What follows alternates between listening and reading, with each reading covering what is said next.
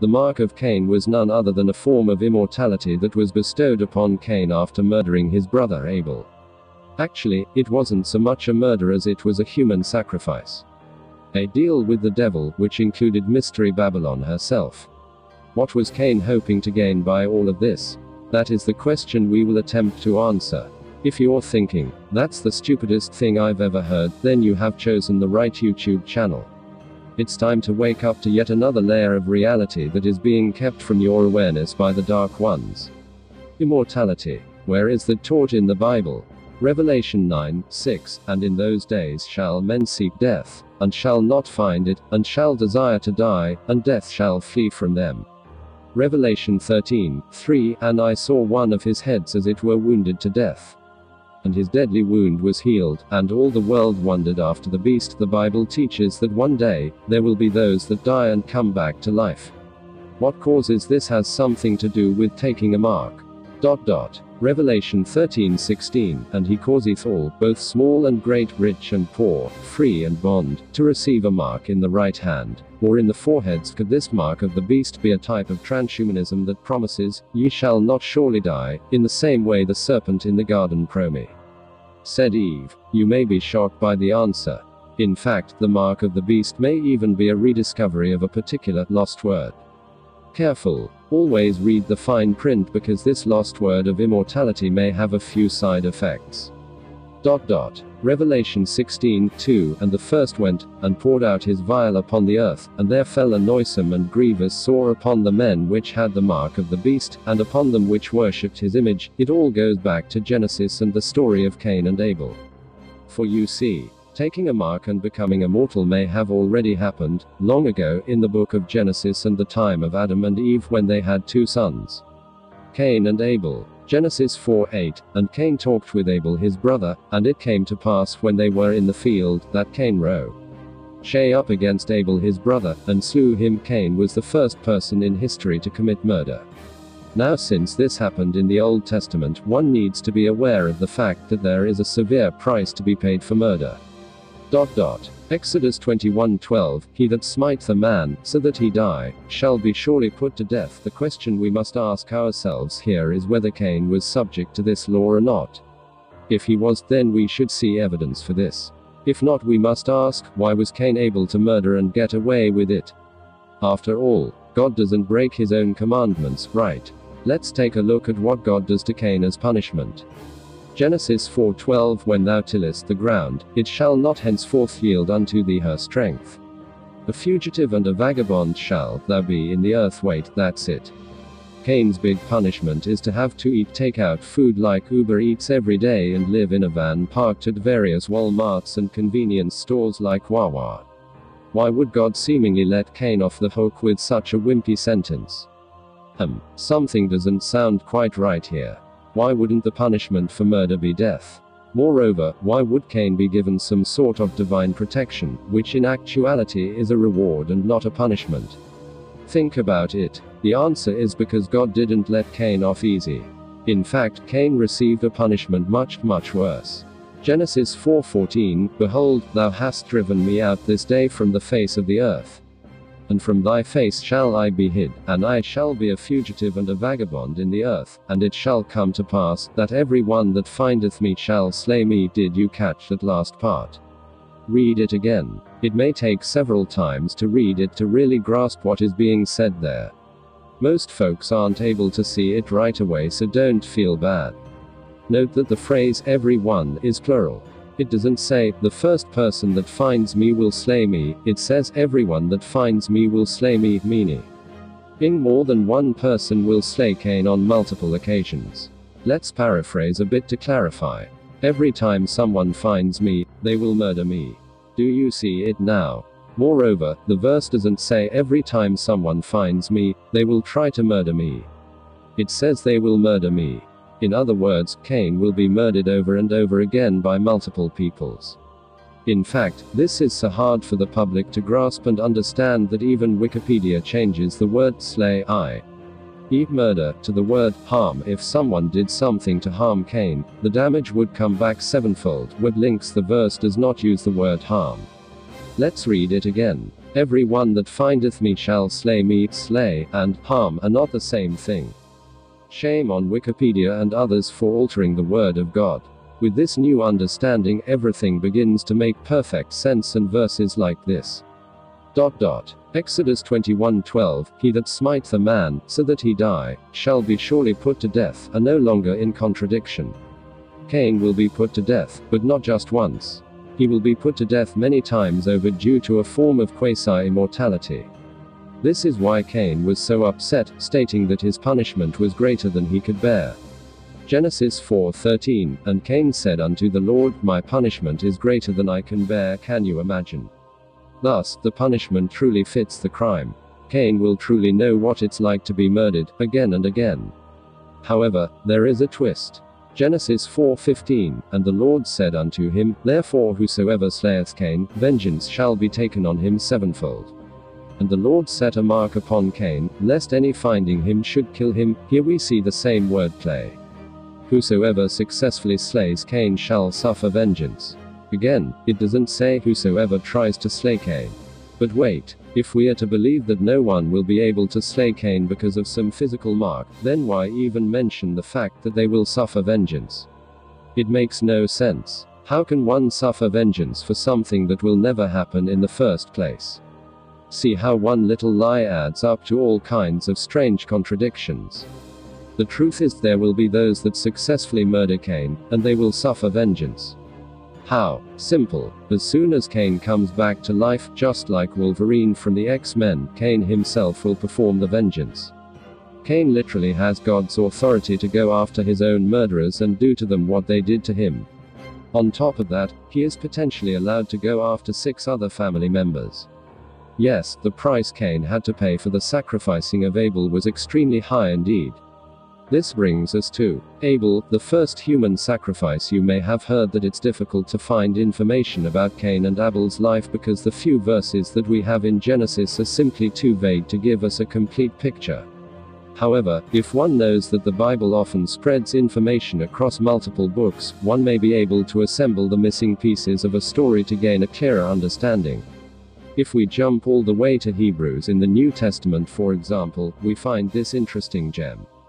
Dot dot. Hebrews 12:24 And to Jesus the mediator of the new covenant, unto the blood of sprinkling, that speaketh better things than that of Abel. Why would Abel's blood be compared to the blood of Jesus, whose sacrifice was worthy enough to save mankind?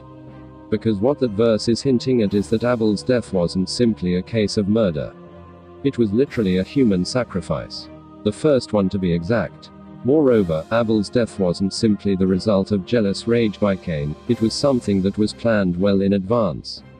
In fact, Abel's sacrifice was a direct act of rebellion against God by Cain in a most profound way, as we will soon learn. Unfortunately, as the verse suggests, Abel's sacrifice wasn't enough to save mankind. Some would argue that Abel's blood was crying for revenge.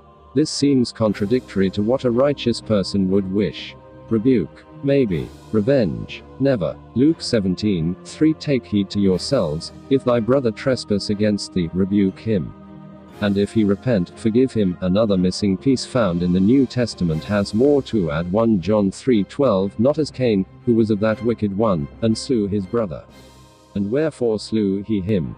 Because his own works were evil, and his brother's righteous. We will look at the wicked one state. Meant in a moment, but first, let's look at the word works we see in that verse that Cain's evil acts were more than just killing his brother. The word works is plural, which generally means the accumulation of one's life's deeds. In other words, Cain did evil works all of the time. Was Cain the first practitioner of occult magic and witchcraft? And did he use his brother's sacrifice to somehow gain favor of a particular entity? What else was Cain trying to gain? Another clue. Genesis 4 7 If thou dost well, shalt thou not be accepted. And if thou dost not well, sin lieth at the door. And unto thee shall be his desire, and thou shalt rule over him. This would indicate that indeed a spirit referred to here as sin was waiting for Cain. In fact, this entity had a desire to influence Cain. If you are thinking, a deal with the devil, you are on the right track. Cain was supposed to rule over him, but of course the opposite happened. Another spirit that seemed to be part What? What you talking about, Our world is in peril. Gaia, the spirit of the earth, can no longer stand the terrible destruction.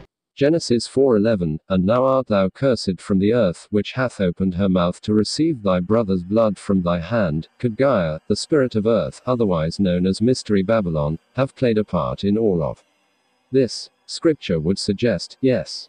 In the book of Revelation, we find Mystery Babylon drunk with the blood of Abel and all who were slain after him.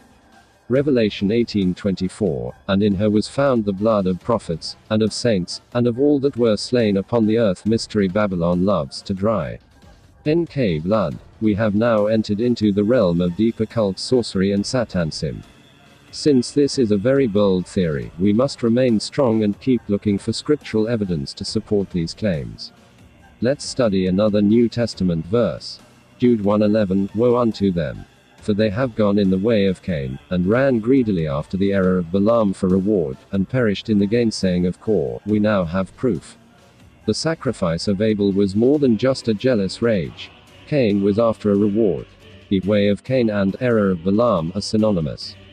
This means Abel's death really was planned. And to find out exactly what this so called reward was, all we need to do now is find out what the error of Balaam was as well as the gainsaying of Core, Numbers 22:17. For I will promote thee unto very great honor, and I will do whatsoever thou sayest unto me. Come therefore, I pray thee, curse me this people. Balaam was a prophet that to a certain man by the name of Balak seemed to have magic powers. Whoever Balaam blessed would be blessed. Whoever Balaam cursed would be cursed. Thus, Balak wanted to hire Balaam to curse Israel. A promise of great rewards and promotions were to be part of the deal. God warned Balaam not to do it, but Balaam couldn't resist the temptation. Long story short, it didn't work out as planned. Balaam couldn't curse Israel, but that didn't stop him from trying to get that money. Balaam devised a plan in which he would teach Balak how to curse Israel himself by sending beautiful women and forbidden food to tempt the Israelites into sinning. Dot dot. Revelation 2:14 But I have a few things against thee, because thou hast there them that hold the doctrine of Balaam, who taught Balak to cast a stumbling block before the children of Israel, to eat things sacrificed unto idols, and to commit fornication. The plan worked and terrible things happened. Ed because of it, many Israelites died in a form of human sacrifice. Now here is where things get very interesting. Numbers 25, 3, And Israel joined himself unto Baal Peor, and the anger of the Lord was kindled against Israel. The Bible describes Israel's sin as a joining, or in a modern sense, a marriage. Who did Israel marry? The world, aka Mystery Babylon. This inappropriate wedding is actually the name of one of the seven churches addressed by God in the book of Revelation. Revelation 2:12, and to the angel of the church in Pergamos write, these things saith he which hath the sharp sword with two edges, Pergamos. The same church which holds the doctrine of the What? What you talking about, The sword with two edges is DNA. Dot dot. Now the pieces are coming together. The way of Cain is synonymous with the doctrine of Balaam, which has now become the church of Pergamos. Pergamos means marriage to the world and mystery Babylon, and in a broader sense. Dot dot. Transhumanism. Throw in the seat of Satan, and we now have all the proof we need to discover what Cain's real intentions were. Genesis 3 5 For God doth know that in the day ye eat thereof, then your eyes shall be opened, and ye shall be as gods, knowing good and evil. Cain wanted to become a go. D just as Adam and Eve wanted. The devil got to him, and so, as punishment for this most heinous crime, God gave Cain what he wished for the chance of playing God on this planet via a supernatural DNA modification called the Mark of Cain. The end result was a man who was able to build cities and who bared highly gifted, illuminated offspring that went on to transform humanity via their crafts Genesis 4.22. And Zillah, she also bare Tubal-Cain, an instructor of every artificer in brass and iron, and the sister of Tubal-Cain was En. Armor, thus, the legends of the seed of the serpent were born though not from the serpent mating with Eve, but rather from a form of Hieros Gamos, an inappropriate wedding which God allowed Cain to participate in. 1 John 3:12 Not as Cain, who was of that wicked one, and slew his brother. And wherefore slew he him? because his own works were evil, and his brothers righteous. Aleister Crowley tells his own version of the story in his Lover's Tarot, in which Cain and Abel can be seen participating in this most unholy of rituals. Obvious racist themes can be seen in the image. The mark of Cain was not black skin. So does this bloodline still exist? Is Cain still alive to this day, ruling this planet from behind the scenes? Most likely a semi-immortal Cain would have finally perished in the flood, but what if? Revelation speaks of a beast rising from the sea. Note that Tubal Cain was the eighth from Adam. Revelation 17:11, and the beast that was, and is not, even he is the eighth, and is of the seven, and goeth in. O perdition, does a deadly head wound that is healed ring a bell? Immortality. Look at the arrogance of one of Cain's offspring. Genesis 4:23-24, and Lamech said unto his wives, Adah and Zillah, Hear my voice. Ye wives of Lamech, hearken unto my speech, for I have slain a man to my wounding, and a young man to my hurt.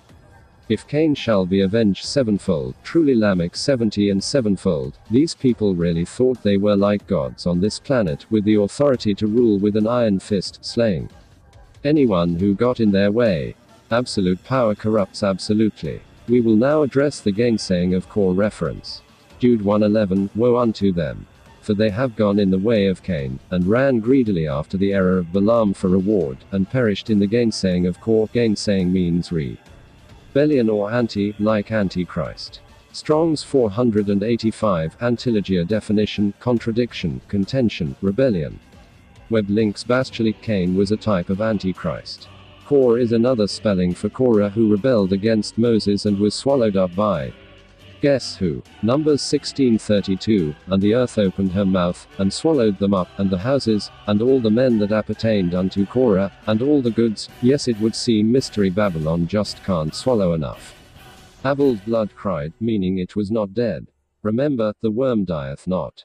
And if we go back a few verses in Jude, we find yet another tantalizing clue pertaining to the mark of Cain. Just as the way of Cain is synonymous with the error of Balaam, it is also synonymous with this.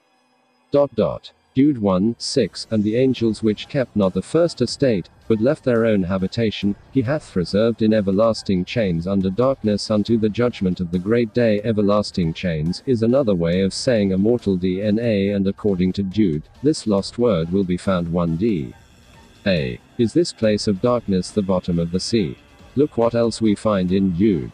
Jude 1, 7 Even as Sodom and Gomorrah, and the cities about them in like manner, giving themselves over to fornication, and going after strange flesh, are set forth for an example, suffering the vengeance of Eterna. Hell fire, strange flesh is basically GMO.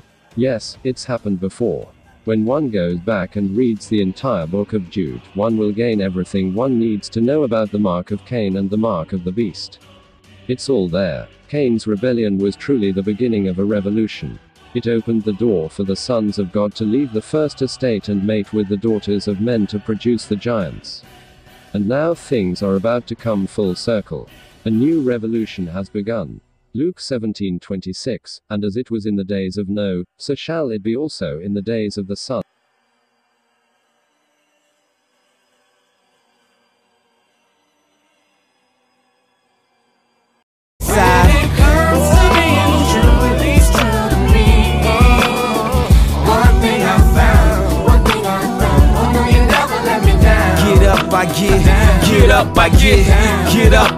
Get, up, I get, get up, I get, get up, I get down. We all here for a reason on a particular path. You don't need a curriculum to know that you are part of the math.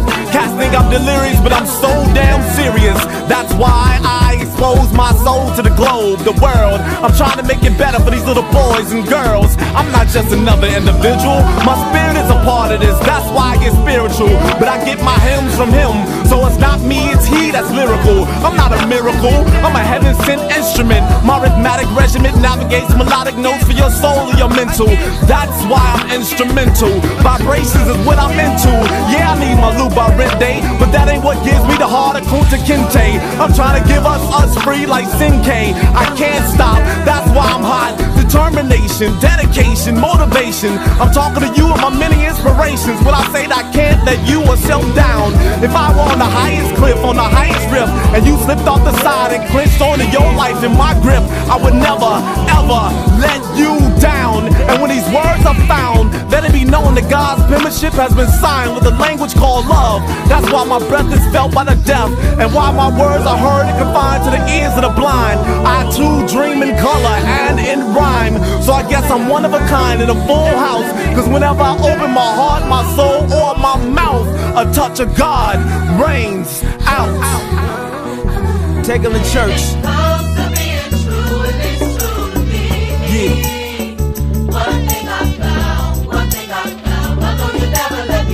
Get up, I get, get up, I get, get up, I get, get up, I get, get up, I get, get up.